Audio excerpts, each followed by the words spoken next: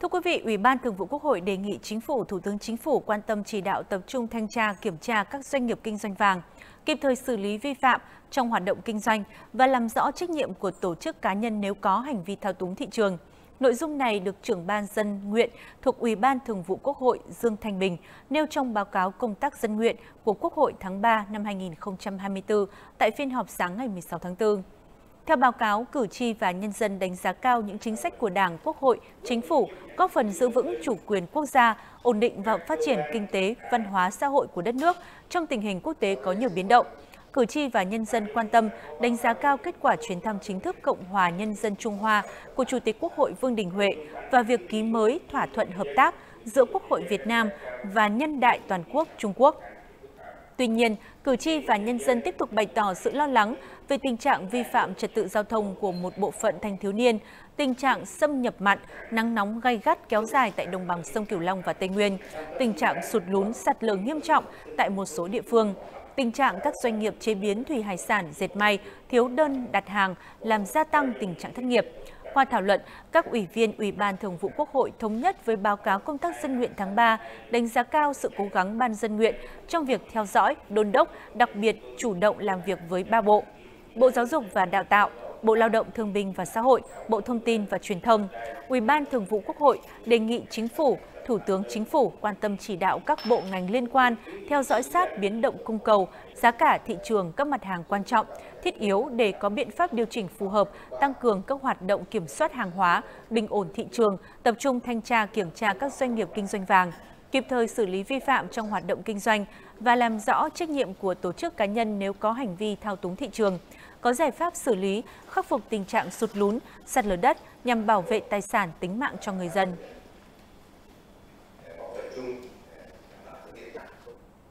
Sáng nay, Ủy viên Bộ Chính trị, Bí thư Thành ủy, Trường đoàn đại biểu thành phố Hà Nội Đinh Tiến Dũng đã đi kiểm tra dự án nhà máy xử lý nước thải Yên Xá, tiến độ triển khai dự án cải tạo xây dựng lại chung cư cũ. Cùng đi với Phó Bí thư Thành ủy, Chủ tịch Hội đồng nhân dân Nguyễn Ngọc Tuấn, Phó Chủ tịch Ủy ban nhân dân thành phố Dương Đức Tuấn, lãnh đạo các sở ngành của thành phố.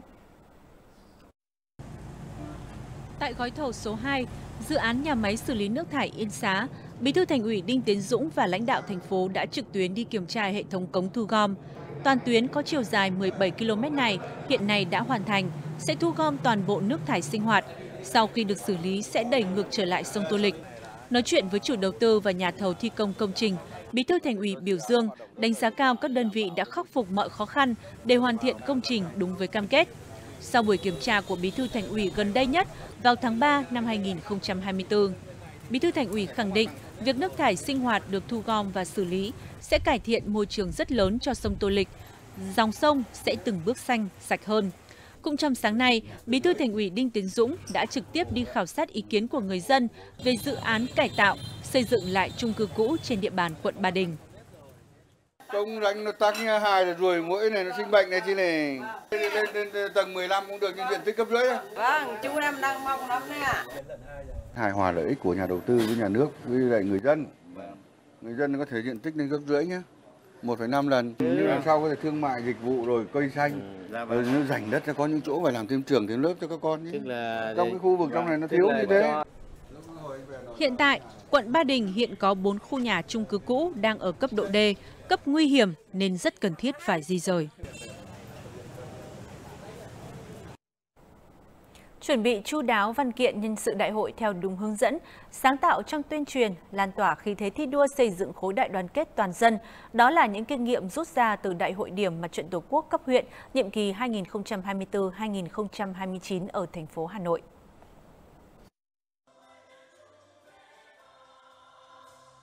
Quận Tây Hồ và huyện Đan Phượng là hai đơn vị được Mặt trận Tổ quốc thành phố lựa chọn làm đại hội điểm Mặt trận Tổ quốc cấp quận huyện. Cùng với sự chủ động của mặt trận, chuẩn bị chú đáo các nội dung công việc theo đúng hướng dẫn, đại hội tại hai đơn vị này đã diễn ra thành công, trở thành sự kiện chính trị quan trọng, có sức lan tỏa trong các tầng lớp nhân dân về xây dựng khối đại đoàn kết toàn dân. Ban Thường trực Mặt trận à, Tổ quốc Việt Nam, quận Tây Hồ, huyện Lan Phượng đã triển khai chúng tôi thấy là đảm bảo chất lượng, có sự sáng tạo. Trong đó thì có cả những nội dung rất mới so với những cái à, nhiệm kỳ đại hội trước và so với mong muốn của chính chúng tôi như là việc xã hội hóa các hoạt động hỗ trợ cho đại hội tạo được một cái không khí thật sự là sôi nổi, hào hứng từ cấp xã, cấp phường đều có những công trình chào mừng đại hội phù hợp với đặc thù của từng đơn vị thì chúng tôi thấy là rất là phấn khởi khi mà những cái hoạt động mới đã được khẳng định, đã được quan tâm nhiều hơn. Nghiêm túc kỹ lưỡng trong từng khâu công việc chuẩn bị, đại diện cấp ủy, ủy ban mặt trận Tổ quốc 28 đơn vị cấp huyện trên địa bàn thành phố đã tham dự đông đủ tại Đại hội điểm Mặt trận Tổ quốc quận Tây Hồ và huyện Đan Phượng để từ đó rút ra kinh nghiệm thực tiễn, vận dụng sáng tạo trong tổ chức đại hội tại đơn vị của mình. Về dự đại hội, tôi cảm nhận được cái không khí tưng bừng, phấn khởi, biệt là cái sự quan tâm chỉ đạo của tổ công tác của ủy ban mặt trận tổ quốc thành phố đến à, chương trình kịch bản của đại hội và qua đại hội thì chúng tôi cũng ờ, làm cái mẫu để các huyện tiếp tục triển khai thực hiện cái ờ, à, đại hội mặt trận tổ quốc ờ, các Việt Nam các của các huyện trên địa bàn của thành phố đảm bảo theo đúng thời gian tiến độ và đúng cái nội dung quy định chương trình của đại hội. Thế và qua đại hội điểm thì chúng tôi cũng rút rất nhiều kinh nghiệm trong cái công tác tổ chức từ khâu uh, uh, tuyên truyền uh, khâu, khâu uh, chuẩn bị tiến trình đại hội. Đến nay, Hà Nội đã hoàn thành tổ chức Đại hội Mặt trận Tổ quốc ở 557 trên 579 xã phường thị trấn, đảm bảo chất lượng và tiến độ kế hoạch. Đại hội Mặt trận Tổ quốc cấp huyện sẽ được tập trung chỉ đạo hoàn thành tổ chức trước tháng 7 và tích cực chuẩn bị cho Đại hội Mặt trận Tổ quốc cấp thành phố nhiệm kỳ 2024-2029 được tổ chức vào tháng 8 năm 2024. Bộ Giao thông Vận tải vừa trình Thủ tướng Chính phủ phê duyệt về kế hoạch, chính sách, giải pháp thực hiện quy hoạch tổng thể phát triển hệ thống cảng hàng không, sân bay toàn quốc thời kỳ 2021-2030, tầm nhìn đến năm 2050. Trong đó, giai đoạn 2021-2025 sẽ hoàn thành lập quy hoạch 30 cảng hàng không quốc tế và nội địa, bao gồm 14 cảng hàng không quốc tế và 16 cảng hàng không quốc nội. Dự kiến giai đoạn 2026-2030 sẽ hoàn thành nghiên cứu lập quy hoạch cảng hàng không Cao Bằng, cảng hàng không thứ hai vùng thủ đô, cảng hàng không quốc tế Hải Phòng. Về tổng nhu cầu vốn đầu tư kết cấu hạ tầng cảng hàng không, dự kiến giai đoạn này ước khoảng 420.472 tỷ đồng. Bộ Giao thông Vận tải vừa có văn bản gửi các cục chuyên ngành, Sở Giao thông Vận tải, các địa phương, các ban quản lý dự án về việc triển khai công điện số 36 của Thủ tướng Chính phủ về bảo đảm trật tự an toàn giao thông, tạo thuận lợi cho nhân dân đi lại trong dịp nghỉ lễ 30 tháng 4 mùng 1 tháng 5 và cao điểm du lịch hè năm 2024. Theo đó, các ban quản lý dự án thực hiện nghiêm việc đấu nối các vị trí dừng nghỉ tạm với đường cao tốc theo đúng quy định bổ sung hệ thống an toàn giao thông để bảo đảm tuyệt đối an toàn cho các phương tiện ra vào các vị trí dừng nghỉ tạm, đồng thời ra soát các vị trí trạm dừng nghỉ, cây xăng trên các tuyến kết nối với đường cao tốc để có biện pháp tuyên truyền, hướng dẫn phương tiện, người tham gia giao thông biết để sử dụng. Các ban quản lý dự án cũng phải triển khai tổ chức vị trí trạm dừng nghỉ đã được bàn giao mặt bằng một phần hoặc vị trí mặt bằng thuận lợi trên dọc tuyến để tận dụng bố trí ngay bãi dừng đỗ xe và công trình vệ sinh tạm hoàn thành trước ngày 27 tháng 4 năm 2024. Sau 3 ngày xảy ra sự cố sạt lở hầm đường sắt bãi gió thuộc xã Đại Lãnh, huyện Vạn Ninh, tỉnh Khánh Hòa, các lực lượng chức năng đã huy động tối đa lực lượng phương tiện 24 trên 24 khắc phục sự cố trên tuyến đường sắt nối hai tỉnh Phú Yên, Khánh Hòa. Đáng chú ý, hiện ngành đường sắt bổ sung phương án khoan từ trên sườn núi, bơm bê tông xuống hầm đường sắt bãi gió, tỉnh Khánh Hòa để gia cố khắc phục sạt lở. Đây là giải pháp được đưa ra sau khi việc khắc phục trong hầm gặp nhiều khó khăn, liên tục sạt lở thêm. Theo đó, tại phía nam hầm bãi gió, tiếp tục gia cố bằng khung sắt và phun bê tông trong hầm. Phía trên đèo cả, các đơn vị xác định tọa độ để khoan từ trên núi xuống hầm đường sắt. Sau đó, bơm phun bê tông để gia cố. Phía đầu bắc bãi hầm bãi gió tiếp tục đưa khung sắt vào đoạn sạt lở để gia cố. Tuy nhiên, công tác khắc phục đang rất khó khăn, các tầng địa chất phức tạp hiện chưa xác định được thời gian hoàn thành việc khắc phục để thông hầm. Ở bên dưới, phía trong hầm, các mũi thi công tiếp tục gia cố, tăng sức chịu lực cho vòng hầm bằng thép. Sau khi sự cố hầm bãi gió xảy ra, tỉnh Khánh Hòa đã phối hợp với các đơn vị ngành đường sắt huy động tối đa phương tiện đảm bảo việc trung chuyển hành khách, tỉnh Khánh Hòa tiếp tục hỗ trợ ngành đường sắt, khắc phục sự cố, sớm thông tuyến đường sắt cũng như đường bộ qua đèo cả. Các đơn vị tranh thủ thời tiết nắng giáo để thi công, đảm bảo an toàn cho người lao động trong quá trình thi công trên núi cao cũng như trong hầm nhỏ hẹp.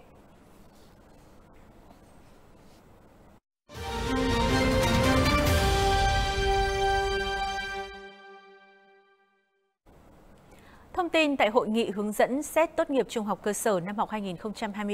2023-2024, hướng dẫn tuyển sinh vào các trường mầm non lớp 1, lớp 6, lớp 10 năm học 2024-2025 do Sở Giáo dục và Đào tạo Hà Nội tổ chức sáng ngày 16 tháng 4 cho biết, học sinh đầu cấp tại Hà Nội tiếp tục tăng mạnh. Cụ thể, năm học 2023-2024, Hà Nội có khoảng 133.000 học sinh lớp 9 dự xét công nhận tốt nghiệp trung học cơ sở trên địa bàn 30 quận huyện thị xã. Năm học 2024-2025, toàn thành phố dự kiến tuyển mới 100.000 trẻ vào nhà trẻ, 52.000 trẻ vào mẫu giáo, khoảng 145.000 học sinh vào lớp 1 và 160.000 học sinh vào lớp 6. Cùng với đó có khoảng 81.200 học sinh dự tuyển vào lớp 10 các trường trung học phổ thông công lập và khoảng 51.800 học sinh dự tuyển vào các trường trung học phổ thông tư thục, trung tâm giáo dục thường xuyên, các trường nghề có giảng dạy văn hóa chương trình giáo dục thường xuyên cấp trung học phổ thông. Giám đốc Sở Giáo dục và Đào tạo Hà Nội cho biết, Đến thời điểm này, thành phố đã ban hành đầy đủ các văn bản hướng dẫn, hoàn thiện các hệ thống trực tuyến phục vụ công tác tuyển sinh và đã tổ chức giả soát đầy đủ các đối tượng học sinh dự tuyển vào các cấp. Thưa quý vị, trong suốt một tuần nay, các trường học trên địa bàn thành phố đã liên tục tổ chức các hoạt động hưởng ứng Ngày sách và Văn hóa đọc Việt Nam, khơi dậy tình yêu và hình thành thói quen đọc sách cho các em học sinh. Nguyễn Lê Anh, học sinh lớp 2D, trường tiểu học Quỳnh Lôi, quận Hai Bà Trưng, cùng các bạn của mình tham gia giới thiệu sách thông qua hình thức sân khấu hóa. Câu chuyện tình mẹ đã mang đến nhiều cảm xúc cho giáo viên và học sinh toàn trường. Tại ngày hội sách với chủ đề Sách khát vọng tuổi thơ do trường tiểu học Quỳnh Lôi tổ chức, rất nhiều những câu chuyện hay mà các em học sinh đã đọc được qua những trang sách đã được kể lại. Hôm nay con đến ngày hội đọc sách để để kể cho toàn trường về câu chuyện người mẹ. Con cảm thấy câu chuyện này rất có rất nhiều ý nghĩa là người mẹ luôn chăm sóc nuôi nấng con đây là một cái chương trình rất là thú vị, bổ ích và mang đến rất nhiều cái sân chơi lành mạnh cho trẻ em. Ví dụ như là ở trường em hôm nay thì các bạn nhỏ sẽ được chia theo từng độ tuổi, từng khối lớp để có thể uh, thỏa sức đọc uh, sách rồi thể hiện cái khả năng của mình cũng như những kỹ năng của các con. Ví dụ như là các bạn uh, nhỏ ở khối lớp 2 thì sẽ kể chuyện theo sách rồi làm hoạt cảnh. Rồi các bạn uh, khối lớp 3 thì các em sẽ uh, giới thiệu sách, uh, nhảy đồng diễn rồi khối 4, khối 5 thì các bạn lớn hơn một chút thì có thể giới thiệu sách bằng tiếng Anh.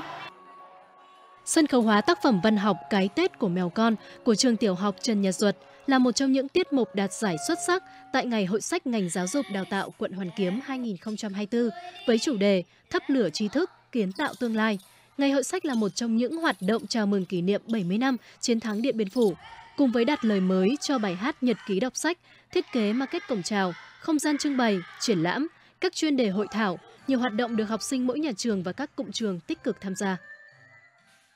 Đối với hoạt động à, ngày hội sách thì con thấy rất là vui vẻ và hào hứng. Con được biết đến rất là nhiều cuốn sách hay và thú vị, đặc biệt là liên quan đến chiến thắng Điện Biên Phủ. Và trường con đặt chức hoạt động như là văn nghệ chào mừng hay là tổ chức cuộc thi nhật ký đọc sách ạ và đã chọn ra các sản phẩm để à, dự thi quận. Và con rất là vinh dự và may mắn khi được nhận giải xuất sắc và con thấy rất là hạnh phúc Năm nay thì à, phòng dục đào tạo cũng mời diễn giả về để hướng dẫn cho các giáo viên ở các nhà trường tiểu học, à, trung học cơ sở à, để cách làm sao giúp cho các con có kỹ năng đọc sách một cách tốt nhất. Tại ngày hội, ban tổ chức cũng đã trao giấy khen cho các tập thể và các em học sinh đạt giải trong phần thi nhật ký đọc sách. Nhiều cuốn sách hay đã được các thầy cô giáo và các em học sinh của quận Hoàn Kiếm mang tới ngày hội để trao tặng cho các học sinh các trường học trên địa bàn huyện Quốc Oai. Nhằm quyết liệt phòng chống bệnh dại tới sức khỏe cộng đồng, Ủy ban nhân dân thành phố Hà Nội đã ban hành công văn số 1082 chỉ đạo các đơn vị tập trung thực hiện nghiêm công tác phòng chống bệnh dại. Ủy ban nhân dân thành phố yêu cầu Sở Nông nghiệp và Phát triển nông thôn tăng cường tuyên truyền luật thú y, luật chăn nuôi, các văn bản liên quan đến phòng chống bệnh dại động vật, phối hợp với Trung tâm Kiểm soát bệnh tật trong điều tra ổ dịch, xác định nguyên nhân và thực hiện các biện pháp phòng chống dịch bệnh dại động vật đồng thời báo cáo đầy đủ, kịp thời chính xác số liệu trên hệ thống báo cáo dịch bệnh động vật trực tuyến. Chỉ đạo trạm chăn nuôi và thú y các quận huyện phối hợp với Trung tâm Dịch vụ Nông nghiệp các huyện, thị xã, hướng dẫn Ủy ban Nhân dân các xã, phường, thị trấn quản lý đàn chó, mèo nuôi và giám sát bệnh dạy động vật, phối hợp với các ngành liên quan, kiểm tra, đôn đốc, tuyên truyền, hướng dẫn công tác phòng chống bệnh dạy trên động vật. Sở Y tế có trách nhiệm chỉ đạo Trung tâm Kiểm soát Bệnh tật kịp thời chia sẻ thông tin về các trường hợp người bị chó mèo mắc bệnh dại hoặc nghi mắc bệnh dại cắn, phối hợp với Tri Cục Chăn nuôi, Thủy sản và Thú y điều tra, xác định nguyên nhân và thực hiện các biện pháp phòng chống dịch bệnh dại trên người theo quy định tổ chức tiêm phòng và điều trị dự phòng bệnh dại đầy đủ cho người bị động vật cắn, đảm bảo đủ vaccine và huyết thanh kháng dại. Bộ Văn hóa, Thể thao và Du lịch đã ban hành quyết định số 995 về việc tổ chức tuần phim Việt Nam tại Ba Lan năm 2024. Bộ Văn hóa, Thể thao và Du lịch giao Cục Điện ảnh phối hợp với Hiệp hội các nhà sản xuất phim Ba Lan tổ chức sự kiện trên. Danh sách các bộ phim chiếu trong khuôn khổ tuần phim bao gồm Đào, Phở và Piano. Bộ Văn hóa, Thể thao và Du lịch đặt hàng công ty cổ phần phim Truyện 1 sản xuất năm 2023, Lật mặt 6, Tấm vé định mệnh, công ty trách nhiệm hữu hạn Lý Hải Production sản xuất năm 2023, Kẻ ẩn danh, công ty trách nhiệm hữu hạn New Arena sản xuất năm 2022, Em và Trịnh, công ty cổ phần Galaxy Play sản xuất năm 2022, Mắt biếc, công ty cổ phần Galaxy Play sản xuất năm 2019. Tuần phim Việt Nam tại Ba Lan năm 2024 sẽ diễn ra vào tháng 6 năm 2024 tại thủ đô Warsaw, Ba Lan. Theo thanh tra Sở Giao thông Vận tải Thành phố Hồ Chí Minh, tính đến đầu tháng 4 năm 2024, toàn thành phố Hồ Chí Minh hiện có 87 điểm đón trả khách sai quy định, tăng 17 điểm so với tháng 10 năm 2023. Trong số 87 điểm xe dù bến cóc ở thành phố Hồ Chí Minh, tập trung nhiều nhất ở địa bàn thành phố Thủ Đức với 26 điểm, tiếp đến là quận 5 với 20 điểm, quận 10 có 10 điểm, quận 1 có 8 điểm, quận Tân Bình 7 điểm. Ngoài ra, tình trạng này còn tồn tại ở các quận 12, quận Bình Thạnh, quận Bình Tân, quận Tân Phú, huyện Hóc Môn, huyện Bình Chánh, gây ảnh hưởng trật tự an toàn giao thông. Sở Giao thông Vận tải Thành phố Hồ Chí Minh cho biết, thời gian tới tiếp tục mạnh tay kết hợp với các tỉnh lân cận để xử lý nạn xe dù bến cóc một cách rộng hơn. Dự kiến kiểm tra toàn diện đối với 5.000 doanh nghiệp vận tải để đưa hoạt động kinh doanh vận tải về nề nếp. Trong đó áp dụng các biện pháp chế tài mạnh hơn như thu hồi giấy phép kinh doanh vận tải bằng ô tô, không cấp lại cho trường hợp chưa khắc phục vi phạm.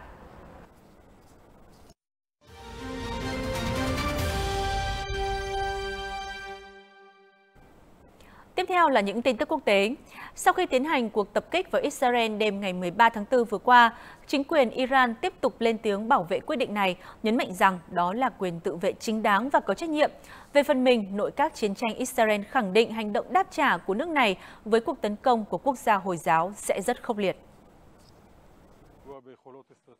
Truyền thông Israel đêm qua cho biết, nội các chiến tranh Israel chưa đưa ra quyết định cuối cùng về biện pháp đáp trả cuộc tập kích quy mô lớn bằng tên lửa và máy bay không người lái của Iran và Israel đêm 13 tháng 4 vừa qua. Tuy nhiên, các nguồn tin khẳng định cuộc tấn công đáp trả của Israel và Iran chắc chắn diễn ra và sẽ rất thảm khốc. Trong đó, đài phát thanh số 12 của Israel dẫn một nguồn tin giấu tên nói rằng dù chưa thống nhất về thời gian và cách thức đáp trả, song nội các chiến tranh của Thủ tướng Netanyahu đã quyết định tấn công trả đũa Iran một cách sòng phẳng và mạnh mẽ, nhằm truyền tải thông điệp rằng Israel không bỏ qua cho một cuộc tập kích quy mô lớn chống lại nước này. Lo ngại về nguy cơ căng thẳng có thể tiếp tục leo thang giữa Israel và Iran, hàng chục hãng hàng không khu vực và thế giới đã quyết định điều chỉnh đường bay tránh khu vực Trung Đông. Trong đó một số hãng đã đình chỉ bay đến và đi từ cả Tel Aviv và Tehran đến hết tuần này.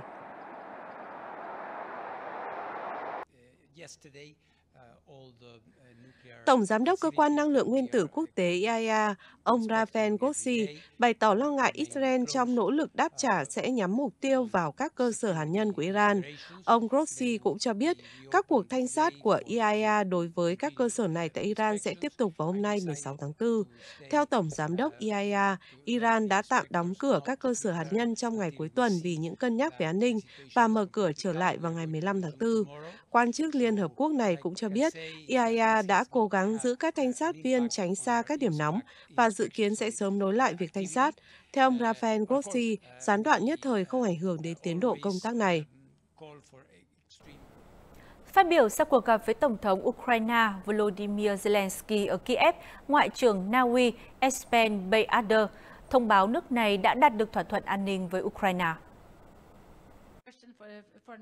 Ngoại trưởng Bart Eder cho biết Na Uy sẽ cung cấp hỗ trợ về quân sự, chính trị, tài chính và nhân đạo lâu dài cho Ukraine. Theo nhà ngoại giao này, thỏa thuận trên thể hiện cam kết chính trị rõ ràng của Na Uy trong việc tiếp tục sát cánh cùng Ukraine. Ngoại trưởng Bart Ader cho biết lễ ký thỏa thuận chính thức sẽ diễn ra với sự tham dự của Thủ tướng Na Uy Jonas Gastor và ông Zelensky. Tuy nhiên, thời điểm chính thức chưa được ấn định. Hiện Ukraine đang tìm cách tăng cường quan hệ với các đồng minh và kêu gọi các nước này cung cấp vũ khí và đạn dược. Trước đó, Ukraine đã ký các hiệp định an ninh song phương với một số quốc gia khác, trong đó có Anh, Pháp và Đức. Na Uy đã cam kết viện trợ quân sự và dân sự 75 tỷ kroner, tương đương 6,9 tỷ đô la Mỹ cho Ukraine trong giai đoạn từ năm 2023 đến năm 2027. Ngày chuyển giao vị trí lãnh đạo của Singapore đã được ấn định. Theo đó, ông Hoàng Tuấn Tài sẽ chính thức trở thành thủ tướng vào ngày 15 tháng 5, tiếp nhận vị trí của ông Lý Hiển Long. Ông Hoàng Tuần Tài, 51 tuổi, người hiện là Phó Thủ tướng và Bộ trưởng Tài chính đã được nêu tên cách đây 2 năm với vai trò là lãnh đạo đội ngũ thế hệ thứ tư 4G của đảng PAP cầm quyền, chính thức đưa ông vào hàng ngũ trở thành Thủ tướng tiếp theo. Diễn biến này được đưa ra sau khi Phó Thủ tướng Hans Wickett, người từng là lãnh đạo 4G rút lui vào tháng 4 năm 2021, khi dẫn ra vấn đề tuổi tác và thiếu lộ trình phù hợp cho vị trí này. Thời hạn chuyển giao quyền lực lần đầu được đề xuất vào cuối năm ngoái khi ông Lý Hiển Long nói rằng ông sẽ chuyển giao quyền lực cho ông Hoàng Tuần Tài trước cuộc tổng tuyển cử tiếp theo vào tháng 11 năm 2025. Ông Hoàng Tuần Tài sẽ trở thành thủ tướng thứ tư của Singapore. Ông lần đầu tiên được bầu là nghị sĩ quốc hội vào tháng 5 năm 2011 và từng giữ các chức vụ trong Bộ Quốc phòng, Bộ Truyền thông và Thông tin, Bộ Văn hóa, Cộng đồng và Thanh niên, Bộ Phát triển Quốc gia và Bộ Giáo dục.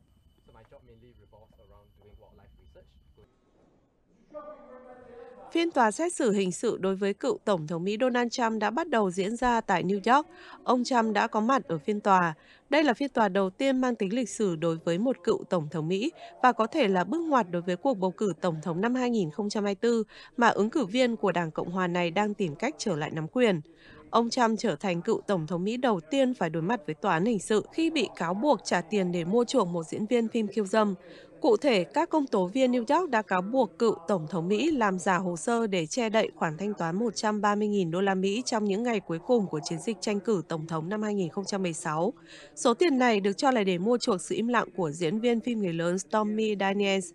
Ông Trump phủ nhận mối quan hệ này. Phiên tòa dự kiến kéo dài đến tháng 5 năm 2024. Nếu bị kết án, ông Trump có khả năng phải đối mặt với án tù, nhưng các chuyên gia pháp lý cho rằng điều này khó xảy ra. Mặc dù vậy, Viễn cảnh trên vẫn là đòn giáng mạnh vào nỗ lực tranh cử của vị cựu tổng thống này.